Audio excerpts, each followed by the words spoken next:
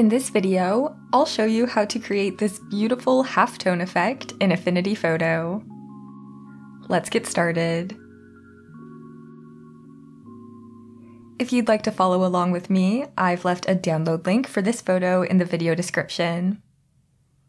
I chose this photo because it has a strong contrast between the dark shadows and the bright highlights. This is important so that the effect can show up nicely. For the first step, we're going to make this image black and white, and I'll do that with the HSL adjustment. I'm going to bring the saturation slider all the way down, and then we can close out of this. Next, I'm going to add a levels adjustment we won't use this quite yet, but later on we'll use this to adjust the contrast. Okay, with that setup done, now we can start the halftone effect. So first we're going to add a new pixel layer. Then I'm going to grab the fill bucket tool and I'm going to change our color so that it's 50% gray and you can see this right over here. We have 0, 0, 50. Once you have that, you can click right in our document to fill this layer with gray. All right, now I'm going to go to our filters and I'll apply the halftone filter. For these settings, make sure you have your setting set to monochrome, cosine, and then we're going to decrease the cell size to around 20 and we'll do the same for the contrast. This is just a good starting point for most pictures, but we can go ahead and adjust this later as needed. I'll close out of this. And then to blend this into our photo, I'm going to select our pixel layer, so this whole layer, and I'm going to change this to hard mix. Now that we can see our photo again, we can go ahead and make some adjustments to the contrast and the dot size. So to do that, I'll just click right here to open the halftone filter again. And now we can go ahead and adjust these. So the bigger the cell size, the bigger the dots will be, and you can zoom in to see this better.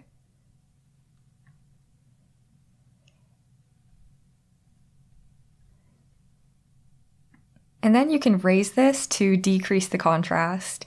It's a little backwards that way. Okay, I think that looks like a pretty good start. To fine tune the contrast a little more, I'll click right here to open our levels adjustment. And then I can use these sliders to adjust things. So the black level and white level sliders will make the contrast more intense. So you can see our shadows get darker and our highlights get brighter. If you want to do the opposite and make the black levels lighter, so in this case, if I raise this, you can see her hair gets lighter. You can use the output sliders for that. And the output white level will make the highlights darker. The output white level slider is actually pretty important for this because in a lot of pictures, you'll have blown out highlights. In this case, it's not too bad, but sometimes there will be no dots on your subject's face, so by lowering this slider, you'll be able to fix that.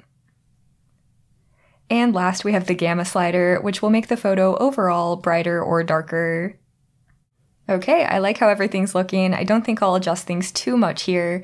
I just wanted to show you that this is an option to use. And now I have one last bonus tip for you. You can add some shape to these dots to flow around the curves of her face. And to do that, I'm going to select the pixel layer. Then I'll go to our filters and I'll apply the liquify filter. This jumps us into the liquify persona.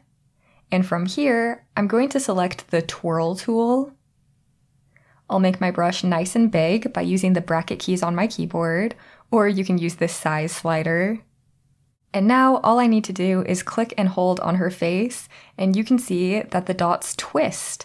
So we've twisted those dots there to curve around her cheek. We can do that for her forehead a little bit too, so they flow differently.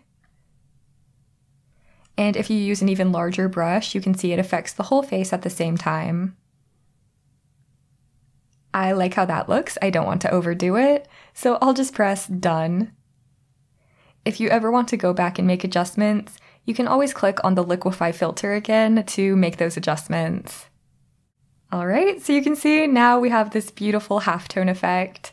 I'm just going to select all of our layers so that you can see the complete before and after. Thanks so much for watching, and I'll see you in the next Affinity Revolution tutorial.